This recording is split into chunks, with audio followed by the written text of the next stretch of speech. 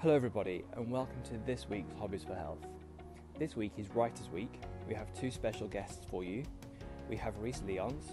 She is a poet, and she is going to be giving us some tips on how we can get started in writing poetry.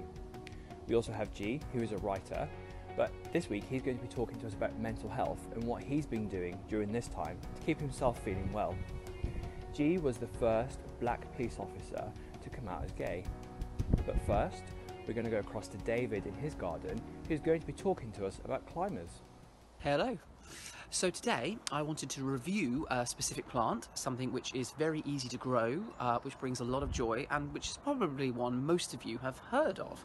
So today we're going to look at honeysuckle, and you can see there is one on this pillar behind me, uh, growing in with a lovely lilac clematis which incidentally is a great idea if you've got the space, whether it's a support like this or whether it's a fence with a trellis on, um, mix two or three climbers together, especially, I mean, mine both flower at the same time of the year, which is not really the best idea because you'd like to stagger the interest, but when they come out together like this, they look amazing.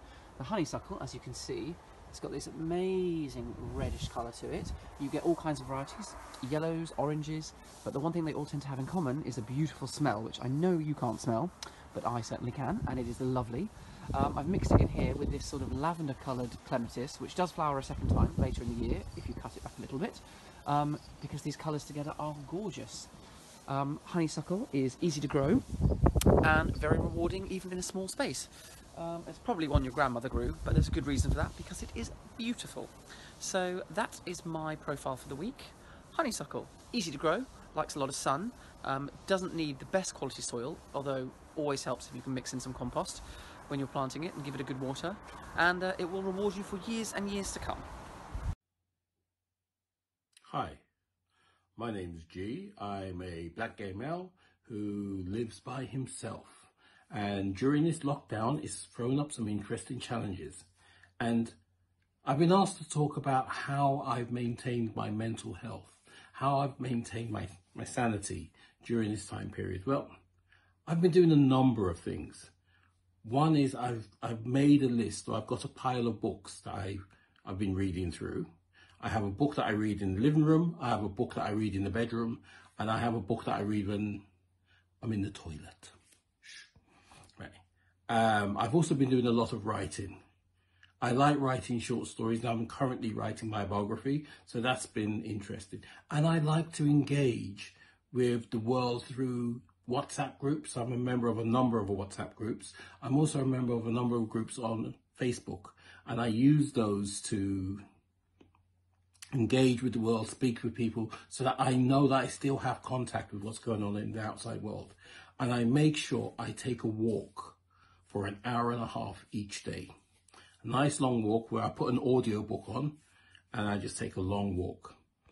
And I think it's important to do all those things. The other thing I'm doing is upskilling myself. So I'm doing a number of online courses, which I think is a way of keeping the brain active as well. So that by the time we come out of this, I'm in a position to do something different or to do something better.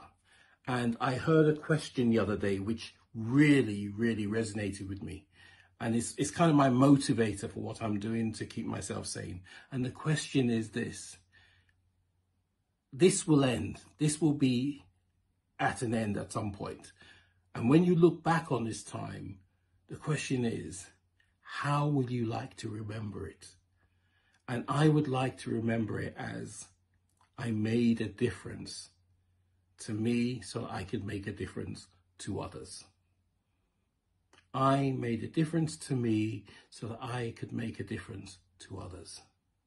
Take care of yourself, people good mental health. So, yes, today I'm going to be talking to you about um, my favourite hobby. Um, so, my name is Reece, uh, Reece Lyons, and I am a poet uh, for my living. Um, but poetry actually started out as one of my favourite hobbies. So um, I'm going to create a very short little video where I'm going to teach you a really fun poetry exercise that anyone can do. It doesn't matter whether you've written a poem before or um, whether you're completely new and a beginner. Um, and basically, the exercise the exercise is literally called free writing. So if you don't know what free writing is, um, it's a style of writing which is basically just a stream of consciousness. So what you have to do is I'm going to give you a prompt, um, which is basically like the beginning of a sentence to spark some ideas in your mind. And then you have to write, uh, I would recommend that you time yourself, maybe around five minutes, and you basically can't take your pen off the page. Um, this is a really great way to generate material and to write your first poem. Um, so the prompt that I'm going to give you is called Home is. So I want you to finish the sentence home is and then go from there. Um, just focus on filling the page. Don't worry about getting in your head about it. Don't worry about what your handwriting looks like. Don't worry about um, whether anyone's going to see it or anything like that. Just focus on literally just pouring whatever's in your brain out onto the page, whether or not it makes sense or not, it doesn't matter. Um, so the prompt is home is, and then just keep writing for five minutes. You can think about home in terms of like the location that you grew up in. You can think about home in terms of place, like does it spark memories of your childhood, for instance, or who did you grow up with when you was a child? But you can also start to think more poetically. So maybe home to you means something different. So if home was a colour, what colour would home be to you? Or if it was a smell, what would it smell like? Or a sound? Or if home was a person? These are things that you can think about during the free write. Um, I chose home is obviously because we're all stuck at home during the lockdown. So I hope everyone is doing well. And yes, please let me know how your free writes go. Just remember to time yourself for five minutes and best of luck. Now over to Jack and it's a bye from me. So for my job this week, I'm going to be finishing this part of my garden.